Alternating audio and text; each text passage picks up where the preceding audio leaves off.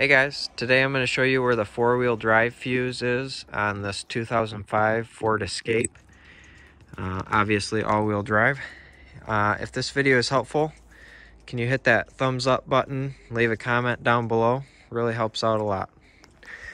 So we're going to come over here on the passenger side.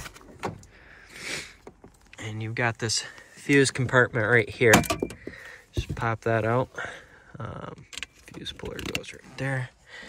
Um, and then your four-wheel drive fuse is this 10 amp fuse right here.